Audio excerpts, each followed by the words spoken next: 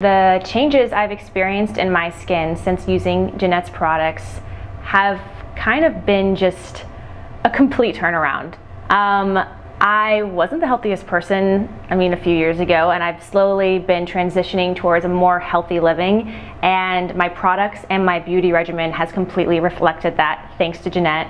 She totally helped me. We went through everything. She broke down every ingredient, why it's there, why I need what I need, why I don't need what I need.